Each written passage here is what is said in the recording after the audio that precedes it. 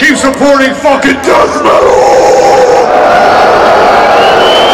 Put up the fucking horns all the way in the fucking back too, or I'll come out there and break your fucking arms. So, I want everybody out there fucking slamming. There's enough people. Everybody make a fucking giant pit for this last song. What is it?